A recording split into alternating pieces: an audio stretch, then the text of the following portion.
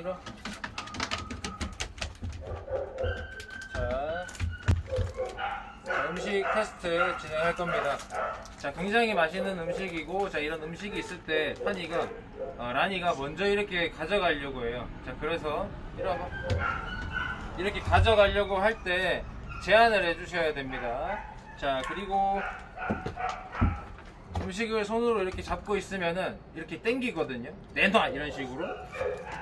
그래서 이 친구가 음식에 대한 그런 가치를 굉장히 높게 설정을 하고 있기 때문에 교육을 하실 때 분명히 어, 이런 선택권, 이 선택권을 보호자가 가지고 있다고 생각을 하셔야 됩니다.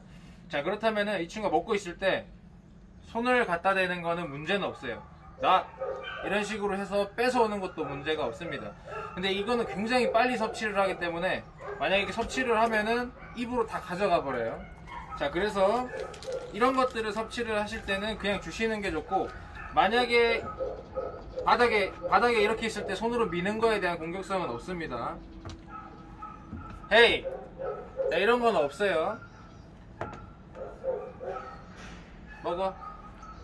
자, 이렇게 교육을 하시면 됩니다. 자, 그래서 오래 먹을 수 있는 뼈 같은 경우나 그런 경우에는 어, 이 친구한테 제공을 했을 때 어, 이런 식으로. 헤이. 헤이. 압박을 하신 다음에 살짝 밀면 됩니다. 그리고 나서 주면 됩니다